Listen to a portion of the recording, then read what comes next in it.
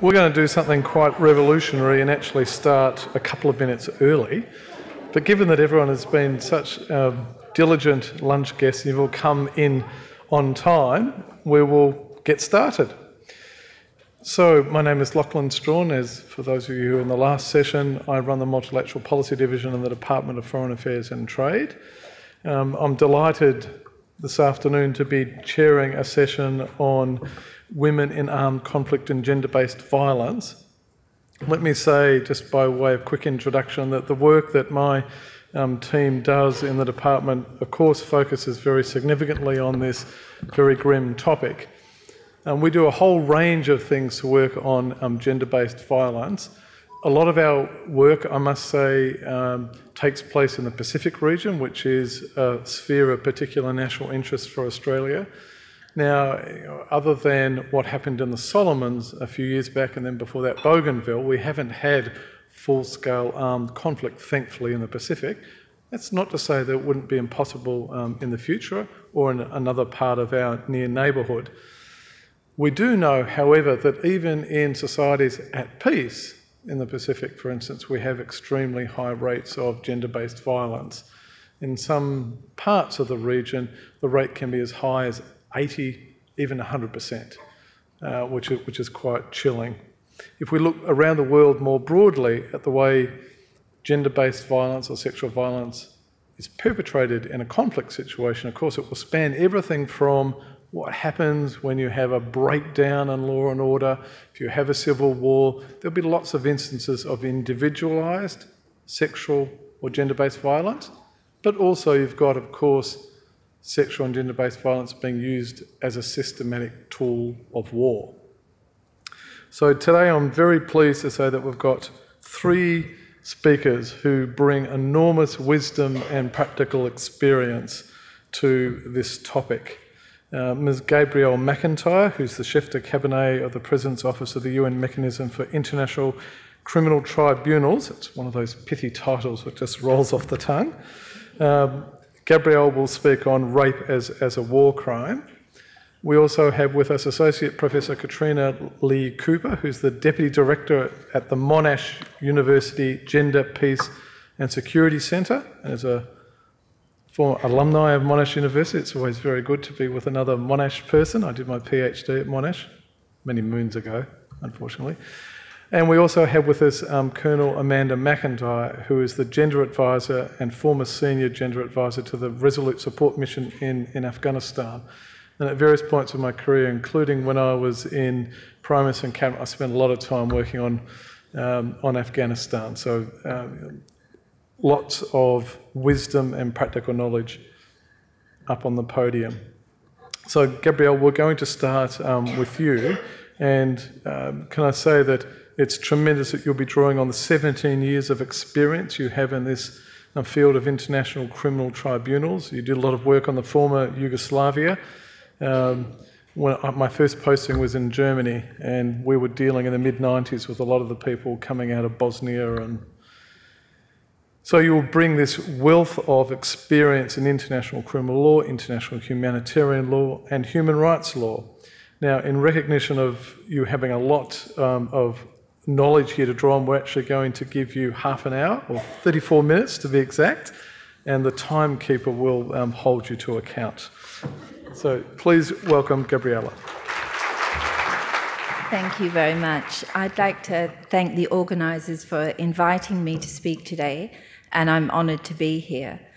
Before I begin, I would like to underscore that my remarks today are made in my personal capacity and not in my capacity as chef de cabinet of the Mechanism for International Criminal Tribunals or as a United Nations staff member. For centuries, rape has been used as a weapon of war to terrorize and humiliate civilian populations, a strategic device to destroy the fabric of communities, a legitimate, or at least accepted, form of troop mollification and rewards and a tool for achieving military objectives. Indeed, rape is an incredibly effective and cheap weapon, cheaper than bullets and more destructive in many cases.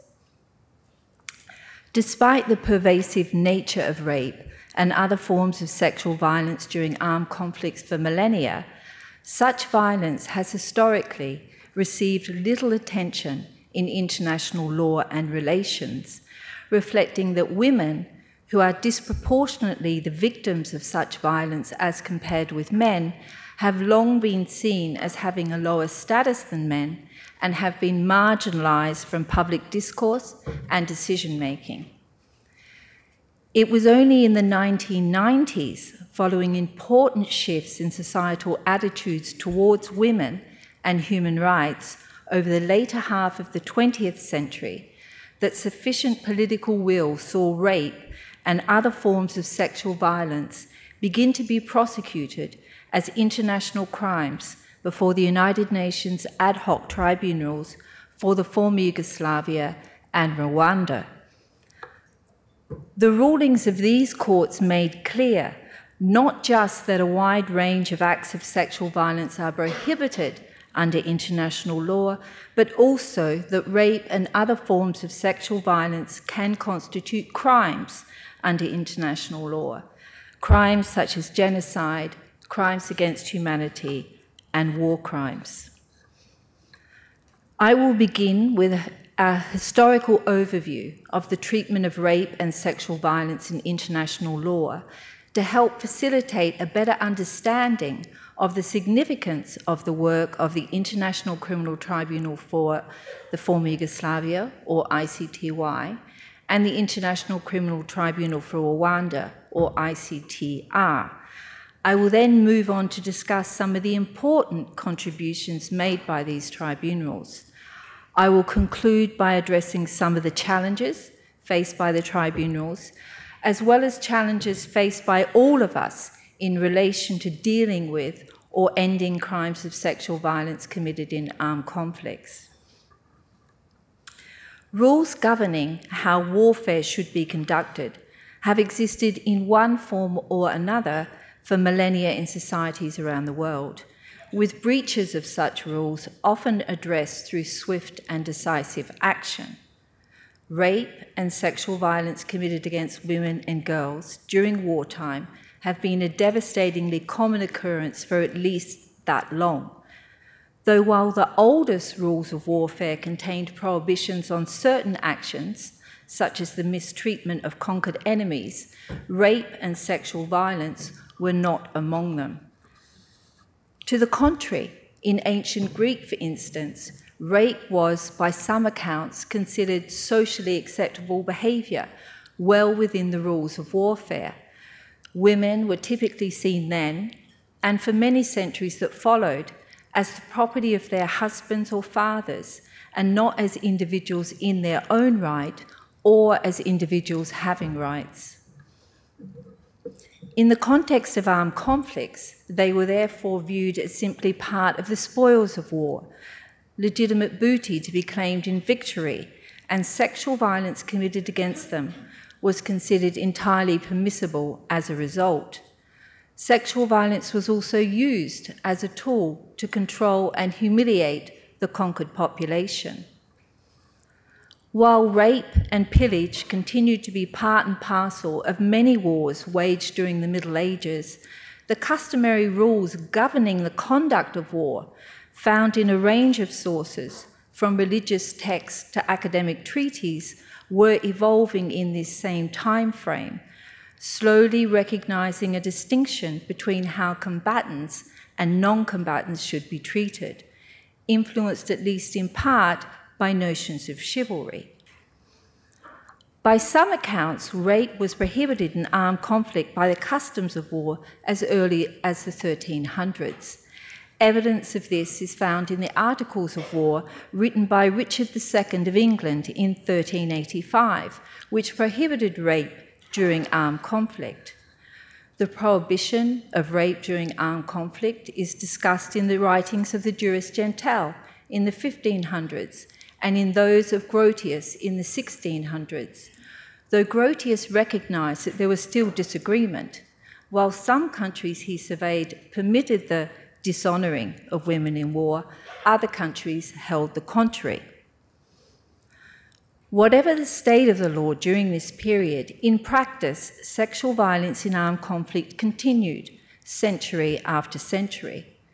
The infliction of sexual violence during colonial wars, wars of conquest, and raids on indigenous lands was frequent, and by some commentators' accounts, continued to be accepted as a form of conquerors' rights. Indeed, the conquering of women by rape served for centuries as a mark of victory, proof of soldiers' masculinity and success, and compensation for services. The 19th century witnessed the first efforts to document in treaty form the international customs and rules of war. However, these early efforts failed to adequately address rape and sexual assault, continuing to downplay crimes of sexual violence. Indeed, even when rape and other forms of sexual violence were deemed illicit, they still tended to be viewed as an unfortunate but inevitable consequence of sending men to war, the mere conduct of delinquent soldiers, or at most a private crime. The Lieber Instruction of 1863, the first codification of customary international laws on land warfare, expressly referenced rape, but classified it as a crime of troop discipline. The Hague Conventions on the Laws and Customs of War on Land of 1899 and 1907 set forth a prohibition regime concerning pillage but made no mention of rape or other acts of sexual violence. At most, these conventions provided for the protection of women under the vague language of Article 46, which states family honours and rights must be respected. Notably, no reference is made to any particular act being prohibited, and if rape and sexual violence do fall within the Article's purview, it is as a matter of disrespect of a family's honour rather than a matter of a woman's bodily integrity. It bears noting that no women were involved in these codification efforts, reflecting the marginalised and secondary status of women at the time. It is no small surprise that rape and sexual violence continued to figure prominently in the First World War. Indeed, one commentator suggests that when the Germans invaded Belgium in 1914, rape was suddenly catapulted into prominence as the international metaphor of Belgian humiliation.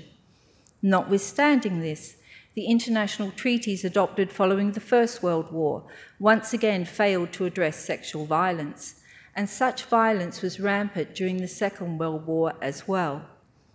Reportedly, the Germans raped Jewish women despite soldiers' concerns with race defilement and raped countless other women as they invaded the Soviet Union. The Soviet, American, and British troops also raped German women during their invasion of Germany, while the Japanese enslaved some 200,000 Asian women in camps where the women were subjected to rape and other sexual violence. Notwithstanding the prevalence of such violence across the various theatres of war, the two tribunals established by their allies in Nuremberg and Tokyo to prosecute suspected war criminals following the war barely addressed rape and other forms of sexual violence. Notably, no women were involved in formulating the charters of the tribunals, and no reference was made to sexual violence in either charter. None of the judges at either tribunal was a woman, nor did women play key roles as prosecutors or otherwise in the trials themselves. At the Nuremberg Tribunal, evidence of mass rape was entered into the trial record as evidence of crimes against humanity, though the transcripts reflect the prosecutor's discomfort and reluctance to discuss the evidence, and no convictions were ultimately entered. The Tokyo tribunal fared a little better.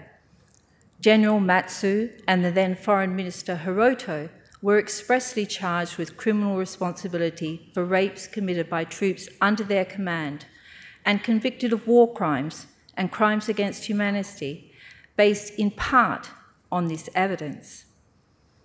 However, no efforts were made to achieve accountability in relation to the sexual crimes committed against the hundreds of thousands of Asian women forcibly placed in camps by the Japanese government. Following the horrors of the Second World War, the Geneva Conventions of 1949 were adopted, reflecting and encapsulating a number of key advances in international law and the law of war in particular. Notably, the Fourth Geneva Convention relating to the protection of civilians during times of war prohibits rape and forced prostitution under Article 27. However, rape and other crimes of sexual violence are omitted from Article 147 which lists the grave breaches of the Geneva Conventions that give rise to universal jurisdiction and obligate states to prosecute or extradite those accused of committing such crimes. Once again, the seriousness of sexual violence was overlooked, perhaps as had long been the case, because women were not adequately represented at the negotiating table. And once again, sexual violence in wartime would continue to play a prominent role in the decades that followed. From the Bangladesh War of Independence, whereby fatwa, Bangladeshi women were deemed war booty and thousands were subjected to rape by Pakistani soldiers, to the Turkish invasion of Cyprus, where sexual violence was used to terrorize the Greek Cypriot population and force them to move to the south side of the island, to the Soviet invasion of, of Afghanistan, where entire villages of Afghan women were raped in an effort to crush the Afghan resistance. In the meantime, in 1977, two additional protocols to the Geneva Conventions were adopted, representing further advances in the codification of the law of war. Article 76 of Additional Protocol 1, applicable in international armed conflicts, states that women shall be the object of special respect and shall be protected in particular against rape, enforced prostitution, and any other form of indecent assault. Article 42E of Additional Protocol 2, applicable to internal armed conflicts, prohibits outrages upon personal dignity, in particular, humiliating and degrading treatment, rape, enforced prostitution, and any form of indecent assault. While more women were involved in the diplomatic conference leading to the adoption of the two protocols than in previous efforts, and both instruments making important advances, including by expressly prohibiting rape, the protocols still reflect certain long standing and problematic norms. By referring to women as objects of special respect, Additional Protocol 1 enforces the gendered need to protect women rather than treating them as subjects under the law, owed equal treatment and protection from violence. Additional Protocol 2, meanwhile, links rape with crimes of dignity instead of crimes of violence. In this respect, Additional Protocol 2, in the words of one commentator, grossly mischaracterizes the offence, perpetuates detrimental stereotypes, and conceals the sexual and violent nature of the crime. And notably, neither of the protocols requires the prosecution of crimes of sexual violence committed in armed conflicts demonstrating the continued marginalisation of women and the lack of attention paid to those crimes which they disproportionately suffer as compared with men. Indeed, until relatively recently, trials of those accused of committing sexual violence in wartime were an exceptional rarity. It was only in the early 1990s, with the establishment of the ICTY and the ICTR, that this began to change. As many of you may recall, in the early 1990s, a series of armed conflicts broke out in the former Yugoslavia between Serbs, Bosniaks, and Croats, resulting in the breakup of the country through declarations of independence and fierce fighting along ethnic lines. An estimated 50,000 women and girls were raped during these conflicts, oftentimes in sadistic and humiliating ways, and by all parties to the conflicts. Rape, sexual enslavement, enforced impregnation were also deployed at prison camps where women and girls were forcibly enslaved. Meanwhile, in 1994 in Rwanda, a genocide committed by Hutus against Tutsis and other moderate Hutus in Rwanda took place, with some 800,000 people slaughtered in a period of 100 days. Widespread and systematic rape was committed against an estimated 200,000 Tutsi women and girls by Hutu military and civilian perpetrators.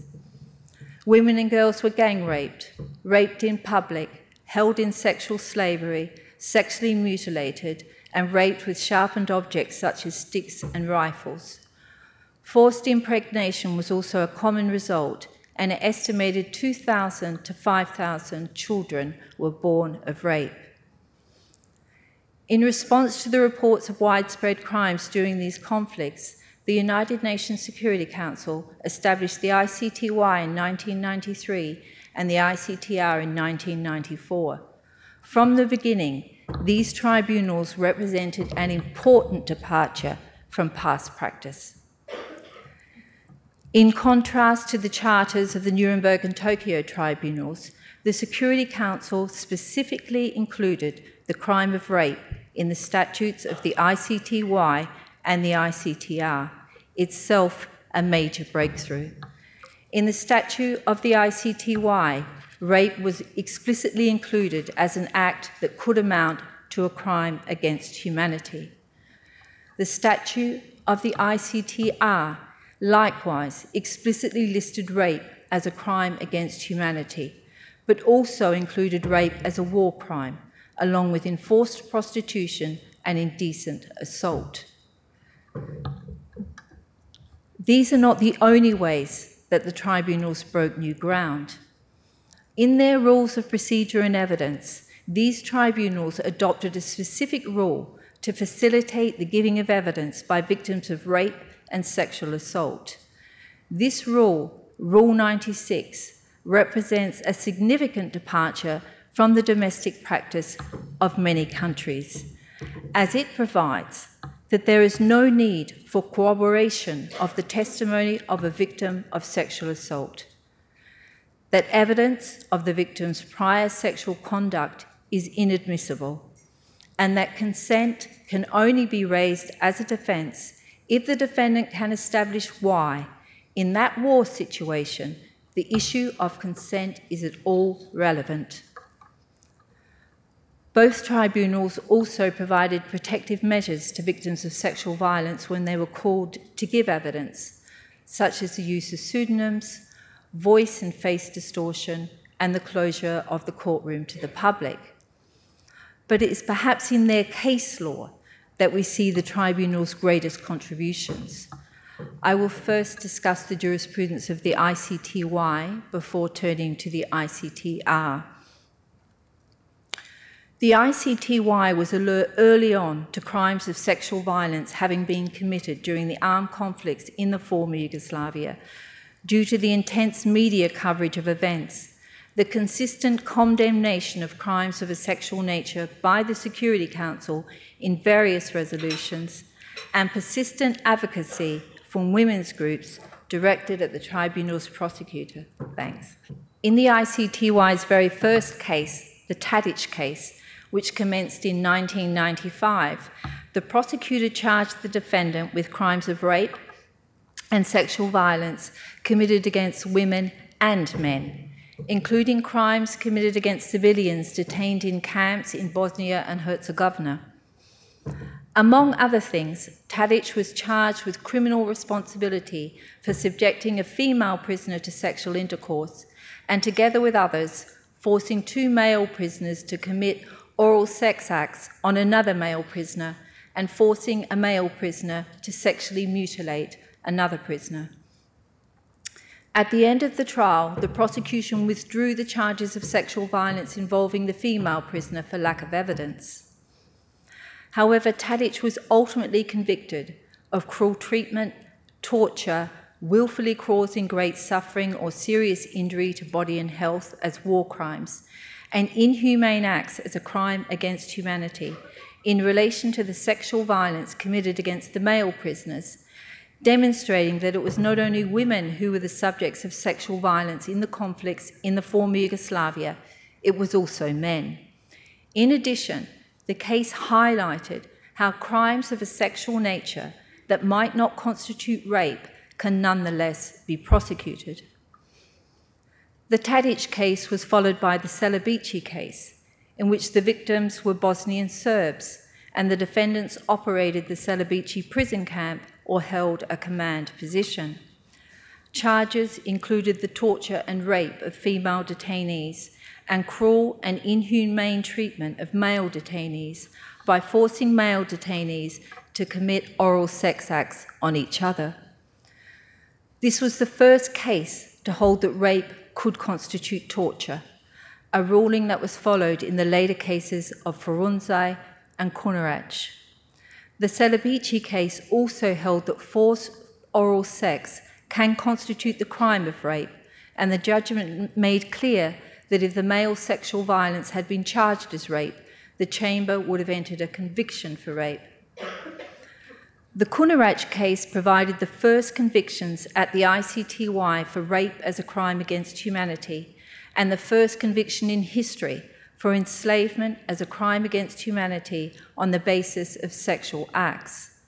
The defendants were three Serb soldiers, and their victims were civilian women and girls, mainly Bosnian Muslims, who were held in detention facilities in the Republic, Republika Srpska forced to provide sexual and domestic services, and also loaned, traded, or sold by the soldiers. In finding that the defendants exercised rights of ownership over the women, including their sexuality, the Chamber concluded that the women were sexually enslaved and entered convictions accordingly.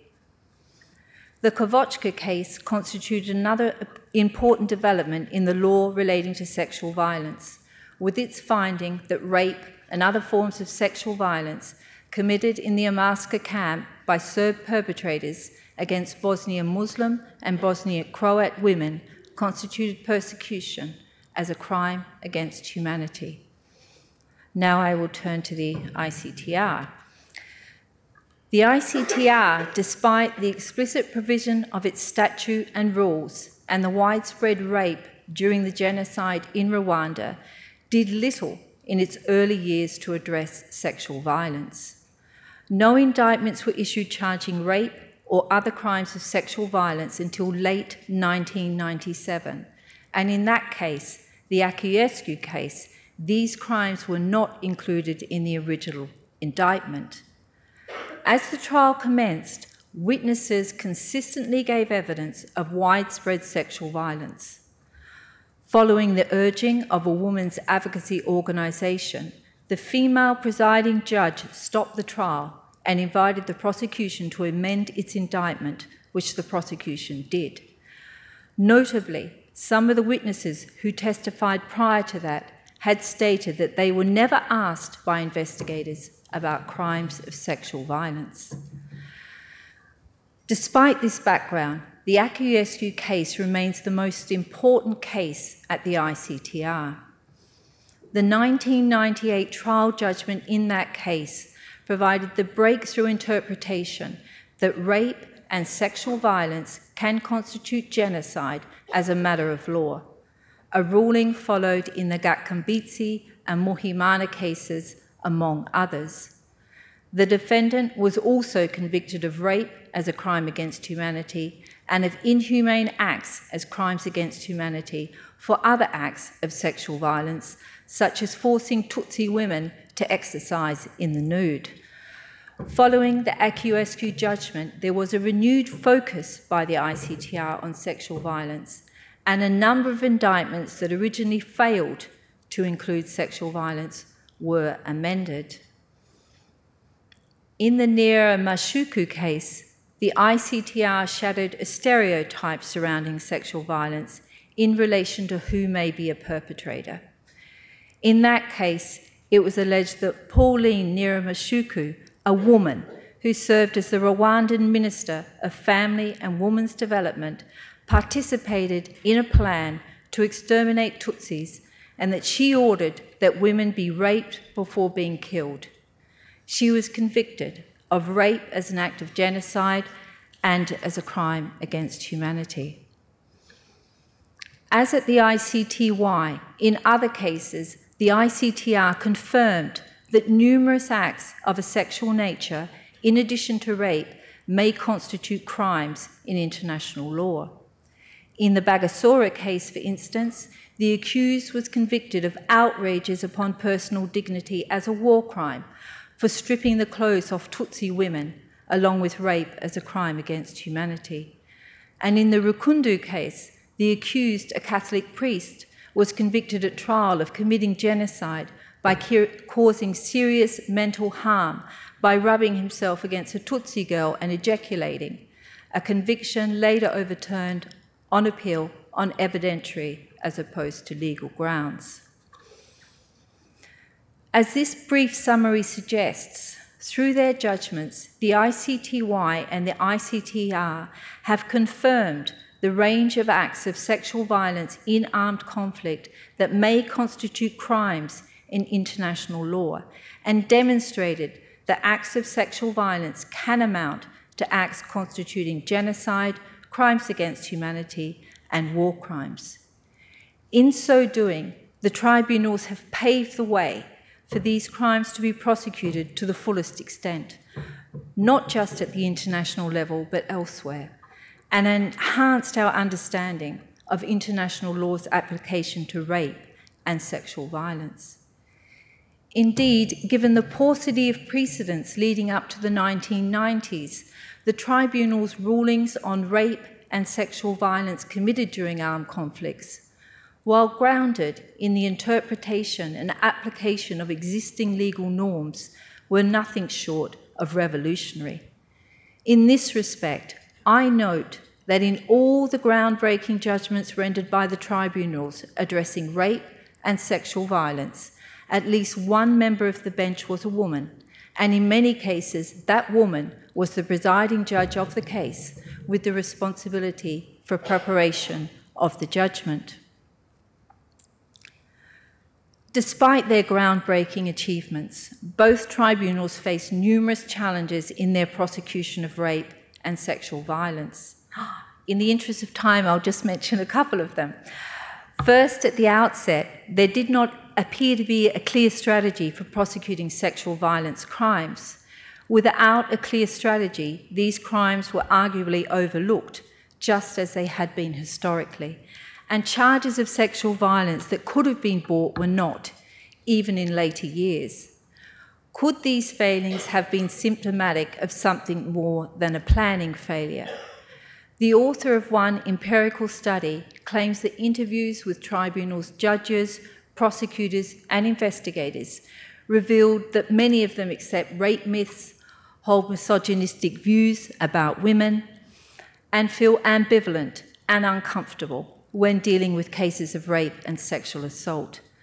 Such entrenched attitudes can impact decision making at a myriad of levels. A second challenge the tribunals faced was a difficulty in securing evidence of sexual violence crimes for several reasons, including the failure of investigators and prosecutors to simply ask witnesses about these crimes, the fact that, at both tribunals, Investigators and prosecutors came from diverse backgrounds with little or no training or experience in investigating or prosecuting sexual violence. The lack of familiarity with the cultural implications of sexual violence in Rwanda or the former Yugoslavia, and the reluctance on the part of many victims to give evidence about crimes of sexual violence, particularly to male investigators and prosecutors due to the shame and stigma attached to such offences in both the former Yugoslavia and Rwanda. As these examples suggest, while the tribunals have offered valuable lessons and precedents, many of which have been captured in best practice manuals issued by each tribunal, we would do well to learn from the challenges the tribunals face and seek to better address such challenges in the future. These challenges aside, there is no doubt but that the work of the ICTY and the ICTR contributed to a seismic shift in the international community's attitude towards rape and sexual violence in armed conflict over the past quarter century. A shift we see reflected in Security Council Resolution 1325 in an increased focus over the last two decades on sexual violence in armed conflict by United Nations bodies and individual states, as well as in the concerted effort at the international level to condemn and seek accountability for these crimes. That said, in recent years, the prevalence of sexual violence in armed conflicts has endured. In the Congo, the so called rape capital of the world, rape is reportedly used by the army to affirm aggression as a morale booster or a reward, or as a way of weakening and humiliating the opposition. In South Sudan and in Darfur, rape is allegedly used as a means of instilling terror, humiliating the opposition, and displacing the civilian population. In the Central African Republic, rape is said to be used to punish women for allegedly supporting an imposing side. In the Syrian Arab Republic, rape and sexual violence is used as a tactic of warfare, torture, and terrorism. Then there is ISIL in Iraq and Syria, and Boko Haram in Nigeria. rape and sexual violence are arguably part of the ideological underpinnings of these extremist groups. The fact that the work of the tribunals and other initiatives within the United Nations and elsewhere have failed to end these practices is in many ways entirely understandable. Legal and political developments that occur in the international arena are often of little relevance to the combatant on the ground who is carrying out practices that have continued unabated for millennia. Shifts in cultural attitudes towards women in some countries over the last century have also been all but absent in other countries, where women remain fundamentally marginalized and devalued during times of peace, much less during times of conflict. Even in those countries that have made positive advances towards equality and inclusion in the last 50 years, entrenched patriarchal attitudes can be challenging to root out and can make true normative change all the more difficult. It is, in short, perhaps naive for us to expect that advances made over just two decades at the international level would simply wipe away attitudes and expectations that are centuries old. Moreover, the mere fact that something is treated as a crime does not mean that the act will be deterred entirely. We need look no further than our own domestic laws, criminalising murder and robbery and the ongoing incidence of both crimes to know that there are limits to the deterrent effect of criminal law. Having said this, and in conclusion, I must also emphasise that despite their continued prevalence, rape and sexual violence are not an inevitable byproduct or tool of war.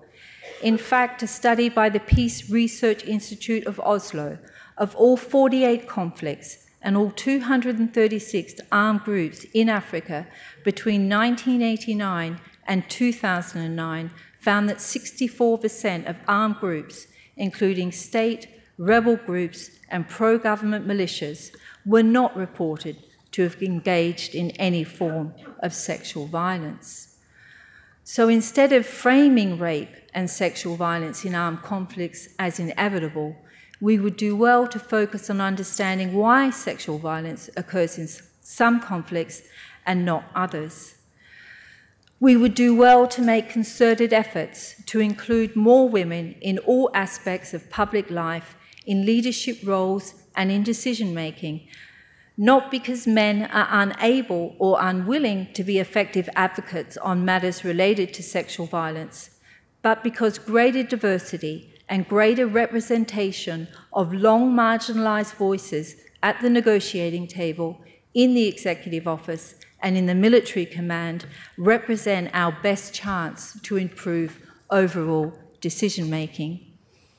We would do well to learn lessons from both the achievements and the arguable failings of the Tribunal and to apply those lessons in national courts and in our support of post conflict justice around the world. By doing all of this, we may be far better positioned to limit and perhaps even to end the use of rape and sexual violence as a weapon of war. Thank you very much. Thank you very much, Gabriel, for an eloquent and sobering um, presentation. It is, of course, confronting to see how long it took international law to get to the point where it did the obvious. Um, you very much emphasise the pernicious and crippling impact of these factors of shame, of denigration, of dignity and honour, which are so um, misused. Now, ISIL is just the latest manif- political, religious manifestation which is using forced marriages, sexual slavery, and rape to, in fact, wipe out entire ethnic and, and religious groups. Our second speaker is Associate Professor Katrina Lee Koo. Katrina brings an immense amount of wisdom from her position as Deputy Director of Gender, Peace and Security at Monash University. She is currently the sole and chief investigator of an ARC discovery project entitled Gender After Conflict. Her teaching and research focuses on the protection and participation of civilians, especially women and children, in, uh, in conflict affected areas and peace processes. Please welcome Katrina to the stage. Thank you, Lachlan, and thanks, Gabby, for an amazing presentation filled with centuries of very important detailed research. I'm afraid to some extent I'm going to pick up where Gabby left off uh, and look at this issue through a United Nations Security Council lens. I apologise for that. It might not be too late to go to the other session. Um, it's certainly very confronting material to have to deal with. So, as Gabby has suggested, sexual and gender based violence in armed conflict has a long history. Moreover, it remains a far too common feature of war. And it remains endemic uh, in conflict throughout history and indeed in the last two decades. But it is also worth saying that to some extent the patterns of sexual and gender based violence do vary widely according to conflict, um, according to conflict type, according to participants and protagonists. So, in recent years, there's been growing international attention, for instance, to the extent to which it's been associated with terrorist organisations, and particularly with the rise of violent extremism. Groups such as Boko Haram and ISIL, Al Shabaab, and Al Qaeda have used sexual and gender based violence as a strategic tool. We are all familiar, of course, with the story of the abduction of 276 Nigerian schoolgirls by Boko Haram. Uh, and we know the extent to which ISIL has been using this as a weapon of war.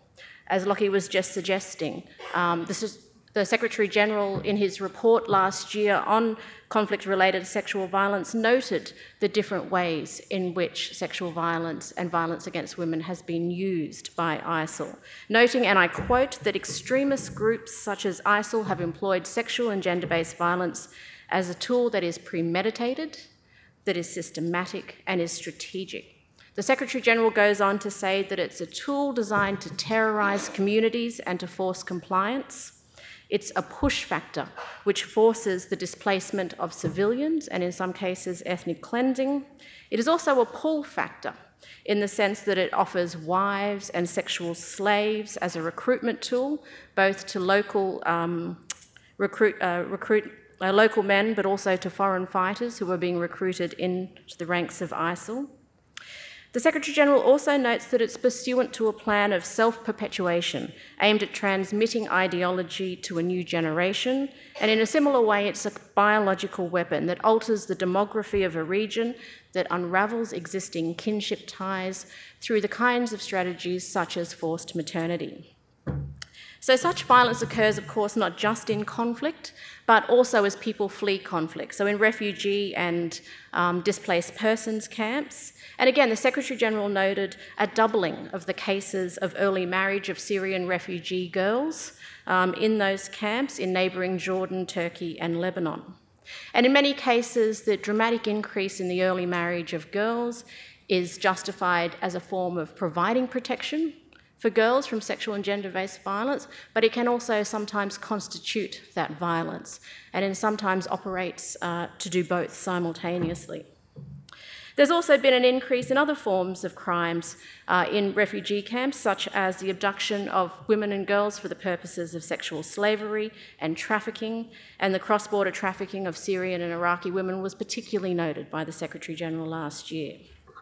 We also know that after conflict, sexual exploitation and abuse by UN peacekeepers and other international agents against local populations can be another problem associated with this issue, where we see peacekeepers trading food, sex protection, uh, sorry, food, protection, relief items, and medical care for sex with women and children.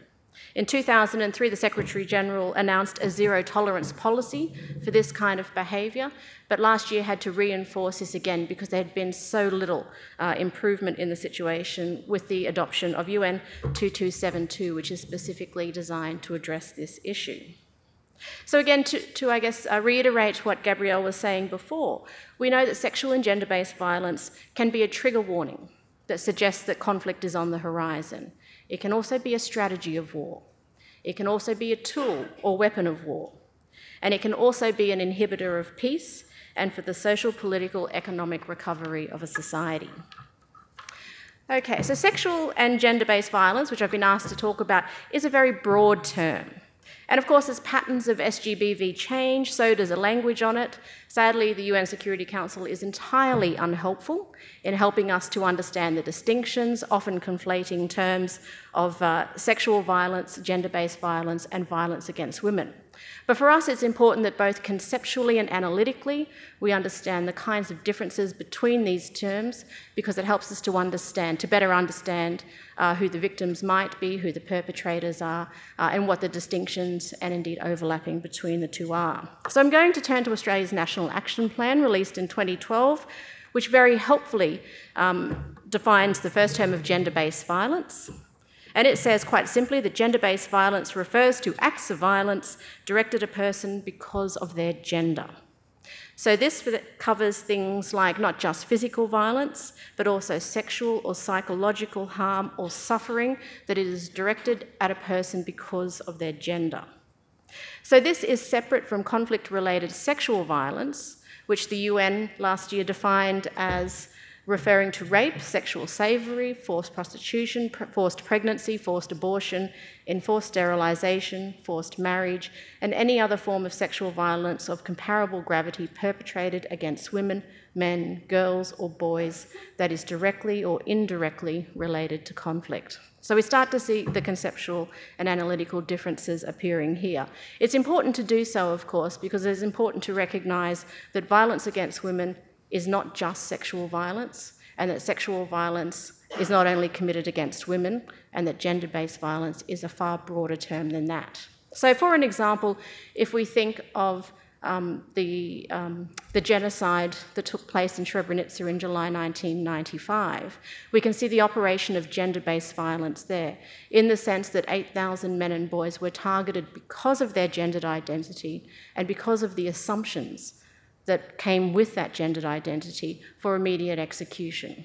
Whereas the women of that community, many were taken off um, and experienced sexual violence. Some women experienced enforced maternity. And again, that form of gender based violence is targeted at that particular gender identity because of certain assumptions about what role they perform in their society and about how their gendered identity is constructed within that social group. So it's important again to recognise that gender based violence is a broader term that um, can see certain forms of violence more targeted towards men than towards women. So often it is, it is the case that men experience genocide in a much higher number than women. Women experience sexual violence in a much higher number. Um, another form of gender based violence, such as forced recruitment of men, might be something that predominantly targets uh, men, and not just men, but men of a particular age. Um, so there are distinctions in the terms which is important to consider. And it's important to consider that when we think about the way in which the United Nations Security Council has built an infrastructure around addressing particularly this issue of the protection of women in armed conflict. So we know that the foundational resolution calls on all parties uh, in armed conflict to take special measures to protect women and girls from gender based violence. Uh, but we also know, as Minister Payne reminded us this morning, that the Women, Peace and Security agenda is actually built on four, or if you like, even five pillars, which is just not simply about the protection of women, but it is also about their participation. It is also about including and incorporating a gender perspective. Uh, into peace and security operations. Um, it is also about the prevention of armed conflict. And finally, it is also about considering the role of women in re- relief and recovery operations. So, UN Security Council Resolution 1322 does include a focus upon these four, or if you like, five pillars. And when we think about these, we need to think about them not simply as pillars that stand in isolation to one another, or pillars that are pursued independently of one another, but the fact that the pillars as a metaphor serves to hold up a structure. And that structure is, of course, peace and security. And of course, the advocates of 1325 say that those pillars must look alike in form, in size, in shape, in emphasis, in resources, in all of those sorts of things. So Lachlan was talking this morning in this morning's panel about the ways in which we need to make sure that all of those four pillars are interwoven with one another, that they are cyclical in nature, that they help support one another and help to create that peace and security. And this is perhaps something that we've not exactly seen happen when we think about the evolution of the Women, Peace and Security agenda. So the foundational resolution, of course, occurred in October 2000. I think as the Security Council was recovering from that, there was eight or nine years of silence before the issue came up again. And since then, we've seen seven subsequent resolutions that make up the Women, Peace and Security agenda broadly, but four of those focus specifically on sexual and gender based violence. Uh, now, this is impressive in some regards because what it has done is has created an infrastructure around gathering data on this issue, around implementing programs designed to address it, and monitoring and evaluation. But there are also problems associated with this because it's created a disproportionate uh, agenda for the Council, which focuses overwhelmingly on this issue uh, to the detriment of the other pillars. So I won't go through it, but very briefly, uh, the four first resolutions are the ones that focus on sexual and gender based violence um, and do things such as set up the Office for the Special Representative, um, insist upon women protection advisors, on teams of experts, develop monitoring and evaluation frameworks known as MARA, the Monitoring, Analysis and Reporting Arrangements, insist upon accountability and prosecution of perpetrators. And uh, 2242, which was released in um, uh, uh, along with the global study in 2015, addresses the issue um, among others, of violent extremism, but also of sexual and gender based violence in, in regard to that. So, where are we in terms of its implementation? Like I said, what we're seeing here is a rather impressive, strong uh, normative framework on the protection of women and girls from conflict related violence. But I think it's overwhelmingly agreed that its impact on the lives of conflict affected women and girls has generally been seen to be weak. The global study says that this is effectively because these processes don't address the root causes of sexual and gender based violence in war. It doesn't challenge the gender norms that trigger violence before, during, or after war. And that's a quote from the global study. And indeed, critics argue that overwhelmingly the Council's focus on sexual violence is a reflection of its masculinist and paternalist ethic of military protection. So, what this sort of means is that the, comfortable, uh, the Council is more comfortable with implementing reactive programs rather than preventative programs, that they're militarised approaches to pr- protection rather than empowering women, and that they facilitate their facilitating their participation as decision makers in peace and security is something that they're reasonably uncomfortable with. So the global study and others argue that as long as the Council fails to address the other WPS pillars equally and with equal vigour, its approach to sexual and gender based violence will not combat the root cause of problems and its impact will remain. Um, this is a big job, of course, and the protection of women and girls shouldn't fall by the wayside while these other pillars are being um, considered, but it is about interweaving all of those pillars together and asking questions like um, what are the gendered structural conditions within a society that enables or allows the intentional use of SGBV to achieve political ends? Or asking questions that help us to better understand how um, endemic gender discrimination in a society might, in fact, help us predict where conflict is going to take place and help us better understand the tactics and strategies of the perpetrators and the patterns of that conflict. I'm not one for long quotes, but I did want to um, spend some time reading the research findings of my colleagues at the Monash University Gender, Peace and Security Research Centre, uh, which has just completed a, a major mapping of sexual and gender based violence in the Asia Pacific.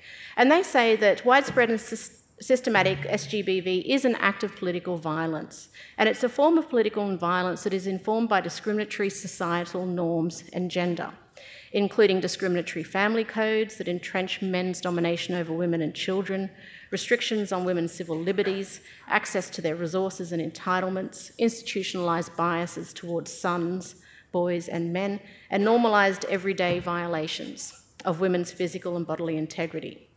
Such endemic gendered discrimination and oppression makes the use of SGBV an effective way of shaming, destabilising, and displacing the whole groups in civil unrest, both before, before during, and after conflict.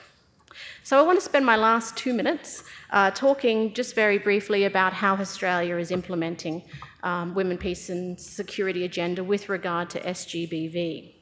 And I think um, I've put my other hat on here as the author of the Shadow Report on Australia's implementation of the NAP. I think a consistent message that we've been making over the past four years is that Australia has a very sophisticated understanding of these issues. Moreover, it has a very strong political commitment to addressing these issues. And it's not without a little bit of pride that I say that Australia has done some very good work in leading the world um, in understanding uh, the importance of the Women, Peace and Security agenda to the peace and security framework. However, I think where a lot of national action plans fall down, and including Australia's National Action Plan, is in its implementation matrix and its monitoring and evaluation framework. So it is wonderful to have amazing rhetoric and amazing understanding around these issues, but when it comes to sexual and gender based violence, the Australian National Action Plan doesn't speak to this in the actions that it needs to take, and it only speaks very broadly to the things that Australia might need to do to be able to better address uh, gender based violence in terms of things like the protection of civilians or in terms of training. Uh, moreover, while there is space in the reporting for Australia to talk about some of the good work it does, uh, it only needs to do that by accident. It is not required to report specifically on any of these measures. There's no targets around these issues. Uh, and moreover, there's no analysis of the impact. So it's terrific to hear, for instance, the work that the Australian Federal Police does in supporting the implementation of family uh, violence laws in the Solomon Islands. But unless that's reported on in a way that's designed to measure impact, we have a great deal of difficulty of knowing what works, what's not working, and why. So, in conclusion, then, I will simply say that addressing sexual and gender based violence through the Security Council process is a long and a short term game. There is short term protection that needs to happen, but that also needs to happen alongside the long term game, which is about a commitment to women's participation and empowerment, it's about a commitment to gender equality, it is about having a strong and clear plan, and it's about having a plan to implement that plan. Uh, and this means that we need to keep in mind that at the end of the day, it doesn't start with protection, that women's participation will play a significant role in the prevention of armed conflict, and the prevention of armed conflict will preclude the need for protection for women in conflict.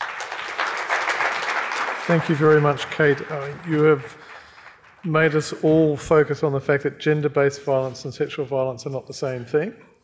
Um, secondly, from my point of view, wonderful to hear you talk about how the Security Council has played a sometimes helpful and sometimes not always helpful role.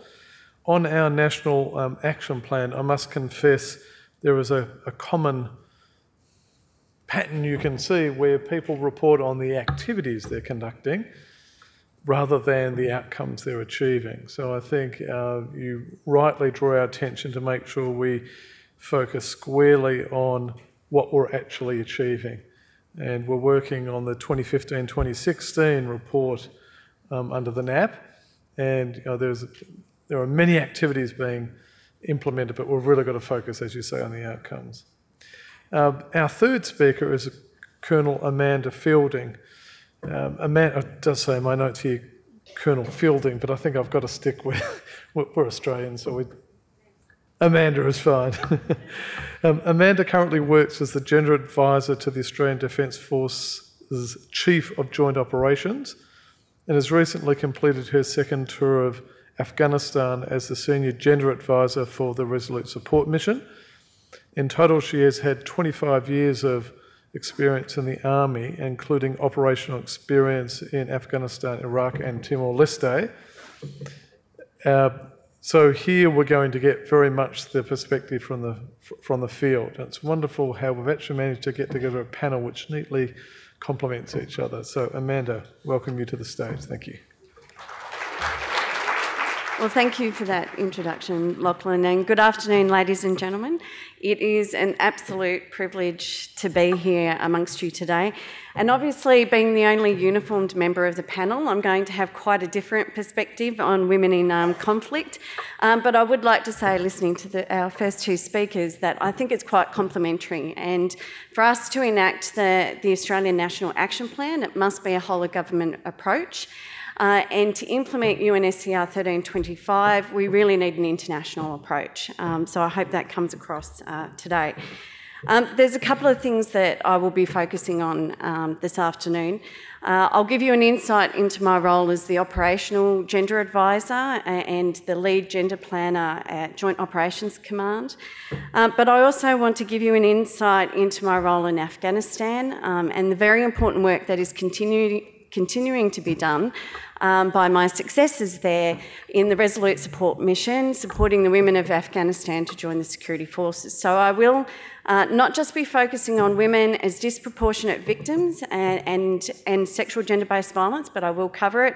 Uh, I'll also be focusing on women as agents of change and the importance of women participation in the security forces. Uh, from the outset, though, I would like to firstly give you a quick overview, noting that uh, Senator Payne did steal some of my thunder, um, on how the ADF is implementing a gender perspective to you, give you a bit of context on my operational roles. So, the National Action Plan, as we're aware, was introduced in 2012, so was the Defence Implementation Plan. So 17 of the 24 actions in the National Action Plan are actually um, either the sole or collective responsibility of Defence. Uh, and the majority of those actions are for us to implement on ADF operations. Um, to do that, uh, when the Defence Implementation Plan was introduced in 2012, we also created uh, a number of gender advisor positions. Uh, these gender advisor positions work for the chiefs of our Defence Force and our chiefs of services. My position as the operational gender advisor wasn't created until 2015 when I returned from Afghanistan. Uh, we still only have a very small collective group of gender advisors, um, but that will change uh, after we run and conduct our first ADF gender advisor course uh, mid this year um, so we can deploy gender advisors more broadly. And each of those service gender advisors that I mentioned are actually sitting in this room today. So why, why has the ADF introduced uh, UNSCR 1325 and Women, Peace and Security to operations and operational planning? Well, because it enhances our operational effectiveness. And it enhances our operational effectiveness because what it leads us to do is to gain a better understanding of our operating environment. More to the point, it gives us a better idea of what the roles of men, women, boys, and girls are in whatever um, conflict area that we deploy to, and how the, the relations between those men, women, boys, and girls impacts on our operating environment, and how we work with the local population and the local security forces. It's imp- also important to consider a gender perspective in operations because it does recognise that women and girls are generally disproportionate victims. Um, and I would just like to say when we first introduced the Women, Peace and Security agenda into operational planning, my position was called the WPS advisor. We had to change that because in an organisation like Defence, where the majority of the people you are talking to are warfighters, and warfighting men, we found it was much easier to talk to them about gender, which looked at men and women, um, and how that impacted on the operating environment. Uh, but in doing so, women still, when we did our gender analysis for our planning, came out as the disproportionate victims and the area that we needed to focus on, in addition to traditional um, military considerations. So we recognise that women and girls are disproportionate victims, but we've also recognised that men and boys uh, have vulnerabilities as well. And there was a report released by the UN on the Yazidi people uh, mid last year, which highlights very well, if you can get your hands on it, the different vulnerabilities of men, women, boys, and girls. Men's vulnerability was centred around uh, those men of fighting age, um, that their freedom of movement was restricted in, in um, areas of North Iraq and Syria because they were uh, actively tried to re- be recruited by armed groups. Women as sex slaves, girls as sex slaves, um, often um, either to impregnate them to build the caliphate or to be sold um, to um, create funds uh, for the caliphate. And young boys were certainly being recruited as uh, child soldiers. So I mentioned the importance of women as agents of change. Traditionally, as a military, we identify key military leaders when we deploy to air and operations. When I talk about Afghanistan shortly, um, I'll highlight to you that we also acknowledge that there were senior female leaders, civil, women's civil society groups who are very powerful and influential in some of these countries. And on previous operations, we probably, we, well, we didn't tap into to these organisations, and they have an incredible amount of insight on what is happening at the village level in particular. But also introducing a gender perspective into planning means that we're also recognising that women can play a role as combatants and as facilitators of conflict. Um, and certainly in northern Iraq at the moment, uh, women are performing the role of informants in, in some situations, sometimes under coercion, but I will talk about sexual violence and why it's being used as a tactic later. The role of, uh, we also recognise that women play a role in terrorism and violent extremism, and as such, it's incredibly important that we look at the role that women can play in countering violent extremism and terrorism as well.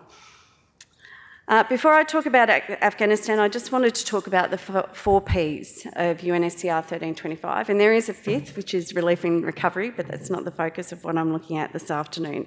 So, just so you understand how the military perceives the four Ps. So, remembering the role of the military is to provide a safe and secure environment. Um, for, for our people and the people that we are being sent to protect when we deploy on operations.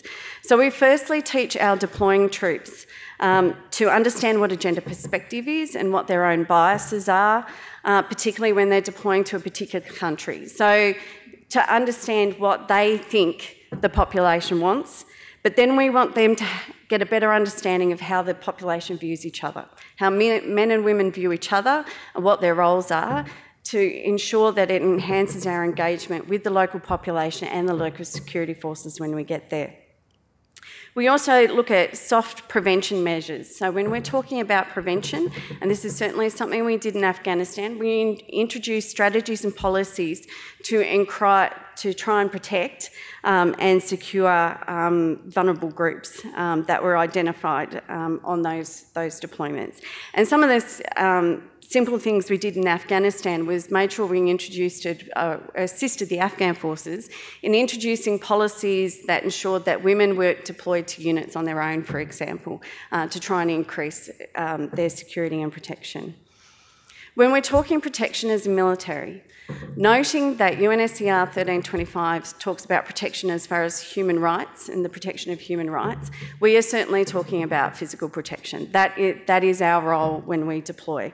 Um, so that is certainly what we, we tell our troops, and we make sure that they understand on whichever country we are deploying to what the unique security issues are for the men and women in that country, and ensure that we provide protection measures to meet those very specific security requirements and needs. One of the most important um, areas that we need to look at to address is, of course, participation and allocating female forces to speak to lo- local women, um, to get an understanding of what their security needs are, but also to assist the local women in coming up with their own um, security solutions. Um, and then we will aim to assist them with that. Um, and so we allocate our own forces to, to assist with that um, on, on operations. It's also important to recognise with participation that the more women that you have in security, the more likely you are to consider the security needs of the women, girls, and families within certain certain countries. Um, and once you you realise that, you're more likely to be able to address those security needs. Uh, and finally, on participation, before I talk about Afghanistan specifically, I'd just like to quote the, the Chief of Army out of a recent ASPI article. Uh, Lieutenant General Campbell was quoted to say, in the Women, Peace and uh, Security Strategist series, um, published on 24th of March, he said, It is a practical disadvantage to have an all male combat force. It's crucial to put the most effective force into the field. In a culture where it is routinely forbidden for women to have interactions with males, not of their family, having women involved in your operations has a very powerful effect. On this occasion, the Chief of Army was specifically talking about the importance of female forces in countries like Iraq and Afghanistan. So, what was my role in, in Afghanistan? Well, my role and that of the other gender advisors was to uh, provide train, advice, and assistance to the Afghan National Defence Security Forces to ensure women's meaningful and safe participation in the security forces. So that includes both the police and the Afghan National Army. So I was the senior gender advisor for the mission, working directly to Commander Resolute Support, and I had an office at that strategic operational level um, who had specific advisors to the Ministry of Interior to um, focus on women's integration into the police and into the Ministry of Defence for the Afghan National Army. It's also important to recognise that we had a, a third gender advisor uh, in our team who focused on civil society groups and non government organisations and other GOs who were operating in Afghanistan. And it was mentioned earlier, um, sometimes you can have hundreds of organisations working on women's issues specifically and women's security issues. So it was Im- incredibly important that we had an advisor to liaise with those groups to ensure that we de- deconflicted and coordinated our, our efforts. So, what were some of the challenges that we faced in, in Afghanistan and in the planning? So I often ask military groups, what do you think of my role was the most difficult? Was it integrating gender considerations into the NATO planning and the coalition planning of our uniformed members, or do you think it was including it within the Afghan National um, Defence Security Forces? Well, I have to say that both were challenging for very similar reasons. Um, both had different cultures, but culturally and attitudinally, it was difficult for them to comprehend.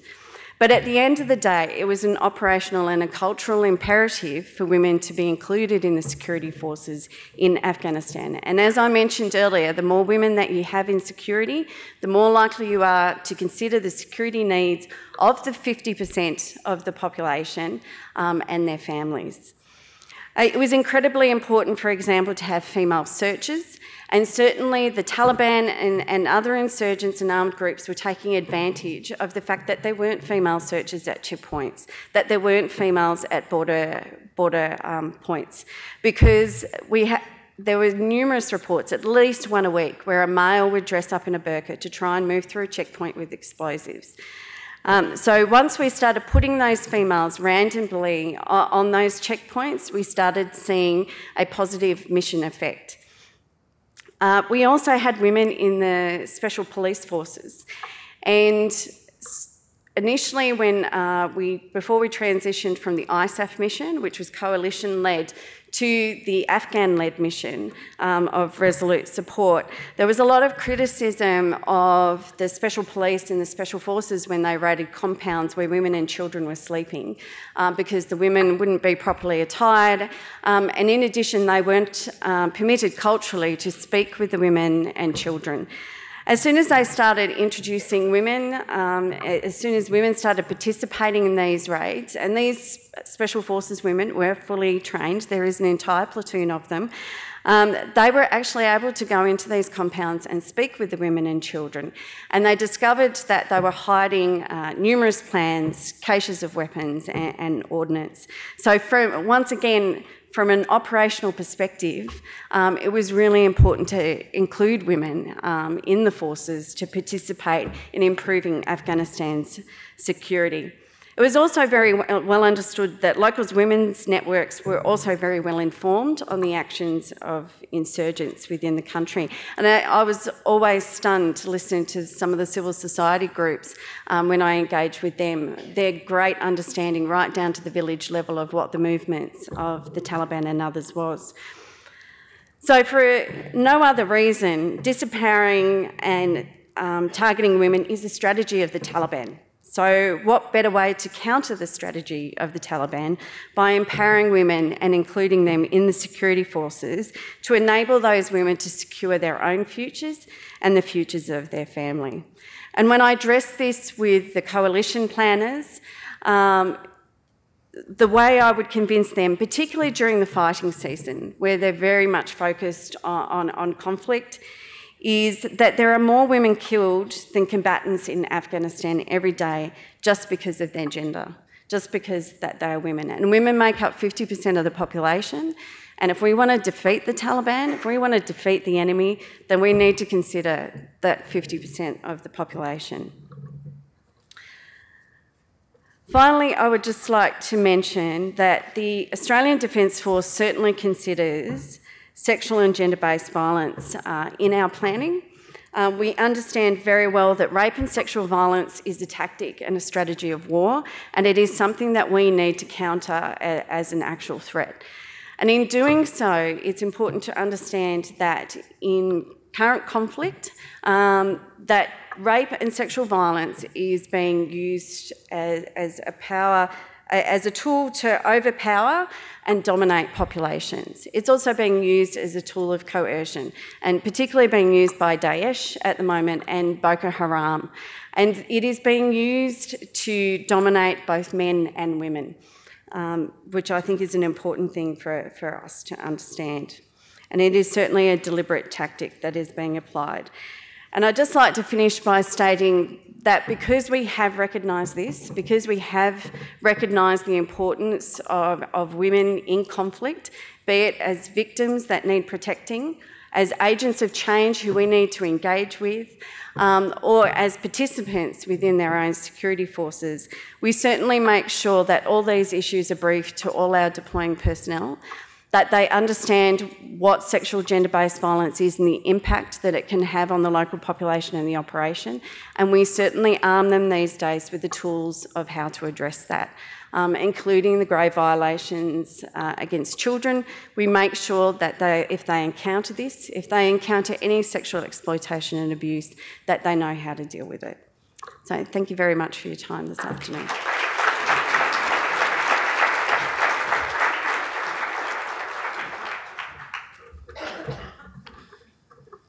Thank you very much, Amanda. Um, it's tremendous to get that on the ground experience, which frankly I, I don't have. I've got different on the ground experience working in India, but, but not what you have been through. To hear what you have said about the challenges of working with both NATO and the Afghan security forces, sometimes you might have found the latter easier than the former. Uh, and again, you have emphasised the importance of working with those local women's groups When I took my current job on two years ago, I found that my gender equality team had 14 staff and not one man in it. And I decided that was a big problem. So I specifically recruited one section head to run one of the sections to bring in that um, male perspective. So this isn't really a question because I'm going to leave that for the floor. But with your um, gender advisors, I wonder if any of them are men. Ah, excellent. See, you're, you're ahead of where we were. So I'm now going to open the floor to the questions. I'm going to sort of steal a little bit of afternoon tea, probably go to about 10 past three rather than three. So, over to you. My question is to um, Gabriel. You know, we've witnessed despicable acts against women, especially by Daesh, uh, you know, since they've come into power in 2014. How do you prosecute that? How do you address such terrible acts against women, especially the Yazidi women? It's a problem, it's an issue. So, what do we do about it? I think that's a very tough question. There has been, you know, attempts, as you might be aware, in the Security Council to refer the situation in Syria in particular to the ICC, but that's been blocked by members of the Council. Russia and China won't allow it. Then in December last year, this, the uh, General Assembly decided to take action. And they adopted a resolution establishing an international mechanism with the idea that these crimes will, will be prosecuted. So that mechanism, it, there's a lot of faults with it. Number one, it relies on voluntary funding. So it hasn't been established yet it's hoped with um, donations from countries. Australia, I think, contributed. Yes, in, in yeah, February we in, made a contribution. Yeah, made a contribution.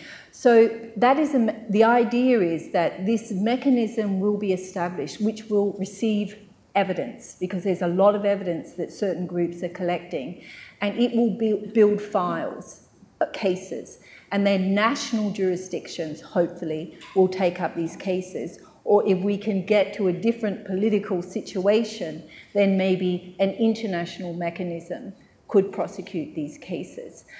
But at the end of the day, in talking about who should prosecute them, there's so many perpetrators. There's so many perpetrators that you really do need national jurisdictions to take these cases up. And there are some limited prosecutions going on, I think, in Germany and a, and a couple of other countries it's going to be a long-term project if it happens. And I mean, if we look now at the former Yugoslavia, there's still cases going on. It's over 20 years ago. You know, they're being taken up by national jurisdictions because there's so many perpetrators. You know, and victims are still waiting. You know, for, for justice.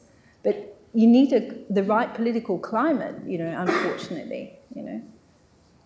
Thank you. I'm Lydia from Fiji institutional reforms is very important to prevent the reoccurrence of sexual and gender-based violence, especially re-establishing um, trust and building on sustainable peace. My question is to any of the panelists, do you think enough awareness has been done or undertaken to address gender, sexual and gender-based violence as part of the justice and sector, security sector reforms on, by uh, post-conflict countries? I think the short answer to your question is absolutely not. Uh, but I think what we do see is uneven and sporadic attempts to do so. I mean, I think one of the big um, recognitions, which is of course far too late, uh, that's been made particularly by the Australian government in recent years in its approach to dealing with this issue is understanding the continuum of violence. Uh, that occurs in conflict, in peace, in public and in private spaces. So, recognising, for instance, that high rates of um, domestic violence often attends a post conflict phase, um, and that high rates of domestic violence is associated with the ways in which we do things like demobilise. Um, demilitarize and, and reintegrate soldiers, for instance. That the way in which we build peace economically can also have um, dramatic implications for the kinds of violence that women experiences in post-conflict and peace processes. So um, I, I, think when you, when you talk to people about RAMSI, for instance, you know there will be moments uh, when there was good work being done in attempts to recognise that continuum of violence against women. but it was something that took a long time to happen. And the problem is that, you know, to use Minister Payne's words from this morning, it's not business as usual. It's not the everyday business, the everyday boring, mundane business of women, peace, and security yet. It's um, dramatic interventions here and there that aren't being sustained across time. So I think the short answer is no, but the long answer is don't give up hope. Uh, and that I think these things are incremental and do take time. And there are e- examples of where this is starting to be done across the Pacific.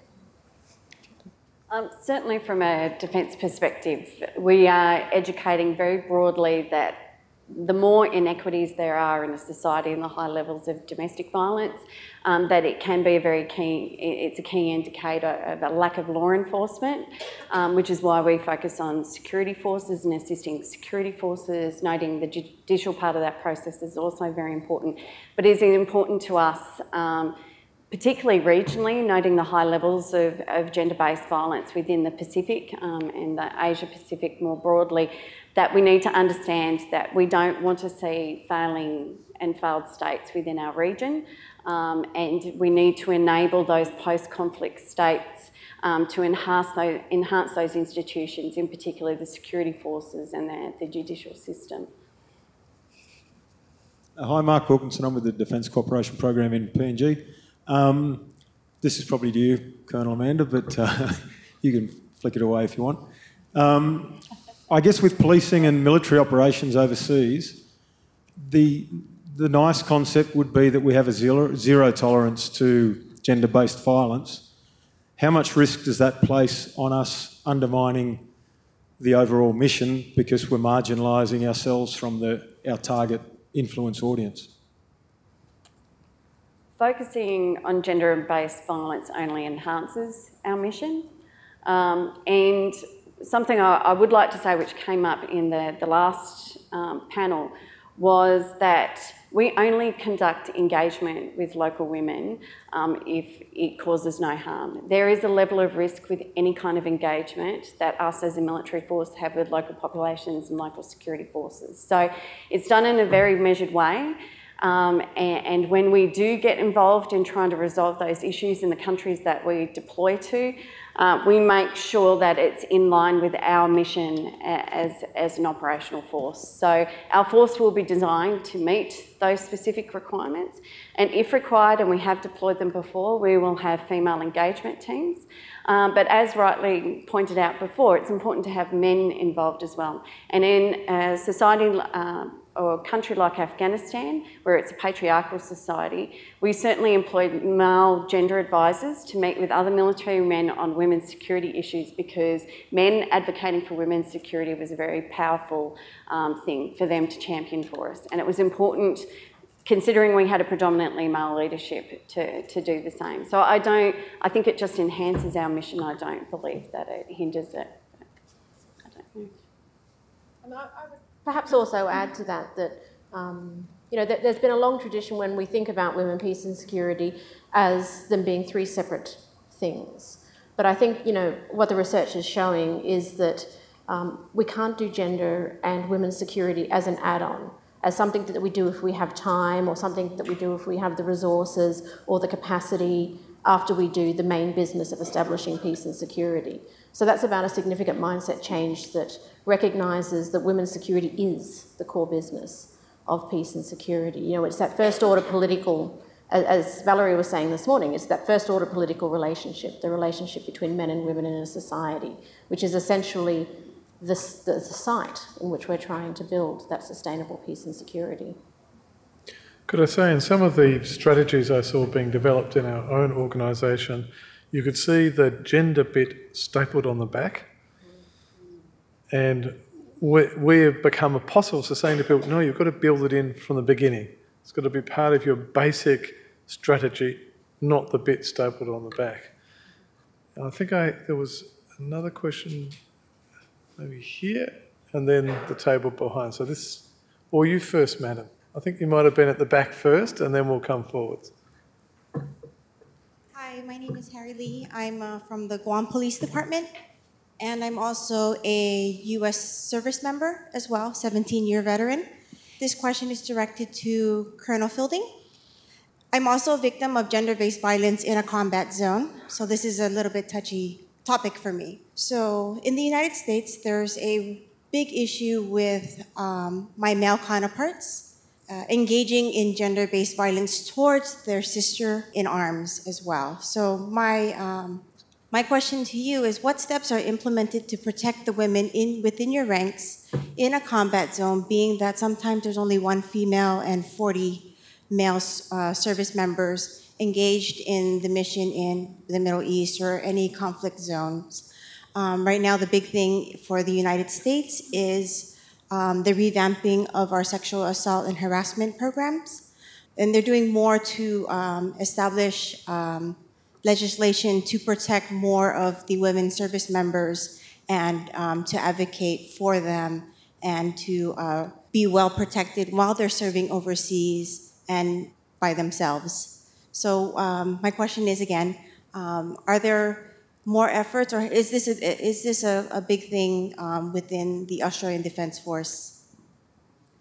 Uh, firstly, I'm really sorry to hear that occurred, and um, I have to say, from my experience in Iraq, my roommate was actually the medical officer. She was a US major um, for the for the coalition forces over there, and I was startled on a daily basis with how many women uh, were abused on the bases um, in Iraq at the time, and I know that it has still occurred in, um, on bases in Afghanistan. From an Australian perspective, um, we take sexual exploitation and abuse and the education of that very, very seriously. And I'm happy to report that on current ADF operations, we've got zero reports of sexual exploitation and abuse. I think a lot of that goes back to we have a very hard line, and part of my role to, in briefing troops before they deploy is to emphasise with them that there's zero tolerance. Um, but I think the general education in defence, um, we are annually briefed on it. Um, there are very strict policies in place, and any policy that applies in Australia applies on operations as well. And we make that very clear to people, and we make sure that there is a very stringent accountability system for anyone that is, is found to um, be abusing either sexually or otherwise a, another ADF member.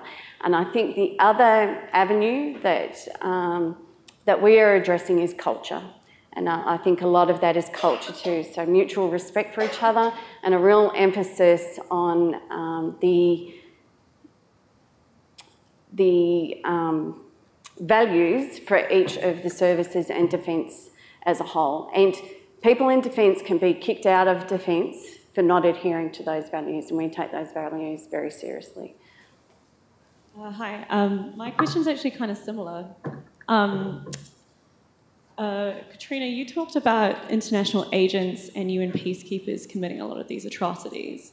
And I just wondered, I, I vaguely remember that there was a, a UN approach to this, was like a zero tolerance or a zero incident um, framework, um, which wasn't proving to really work because they weren't actually able to have those conversations and actually identify those incidences properly. And I was wondering if you could talk maybe about has that been progressing at all? I know there's a bit of conversation that's been happening in this area, um, and is there more to that? I'd want to add a bit as well, but certainly, um, I mean, this became a big issue in 2003 when it was revealed the extent of, um, of peacekeeper abuse um, in cases involving um, five children, particularly, and it was in Senegal. In Senegal in the DRC. Anyway, um, and so this brought this issue to the light, and a major study was done by a group of NGOs which found that there was, in fact, widespread abuse, not just by peacekeepers, but by international aid and humanitarian workers who were doing things like trading um, food for sex with children as well as with women. Um, so the, the Secretary General's response was to um, install a zero tolerance fraternisation policy for all UN peacekeepers uh, serving abroad. Uh, this was a very controversial policy because not only did it, did it um, put an end to supposedly sexual exploitation and abuse, but also genuine relationships that might form between peacekeepers uh, and local civilians, uh, which was seen to be in some ways very disempowering. Um, for women, particularly. But you're right to say that there hasn't been significant uh, movement in addressing this issue, that it does remain a problem in a number of peacekeeping operations. And last year, the Security Council passed a resolution, I think it's, it was 2772, um, which sought to reinforce this zero tolerance policy. But Gabrielle. Yeah.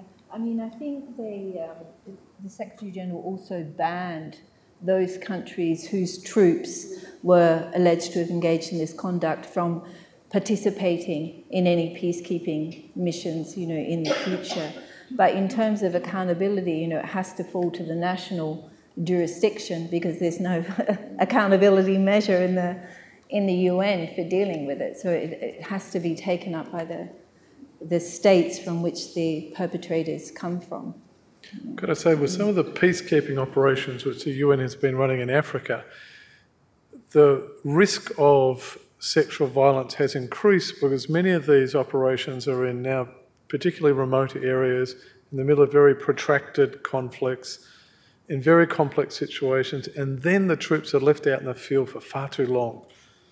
And they're underpaid and under the pump. And you've got all these factors which just increase the risk. So the UN has realised you can't get a bunch of soldiers and stick them out there somewhere in Central African Republic or DRC for month on month on month on month, year on year, because the risk goes up.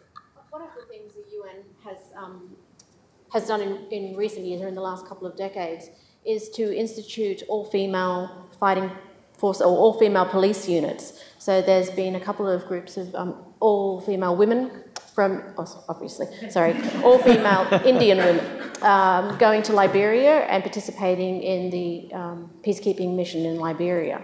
And of course, you know, unsurprisingly, one of the things that they found was the rate of, of peacekeeper abuse of local populations decreased dramatically uh, when those um, police units were all female. Uh, that's a good outcome, but it's also a problematic logic and a problematic conceptualization of why this sort of violence occurs. You know, as Lachlan suggested, there are all sorts of reasons from training to the parameters of the operation to the timing to the resources that lends itself to these sorts of things happening that need to be addressed at a very sort of systematic level.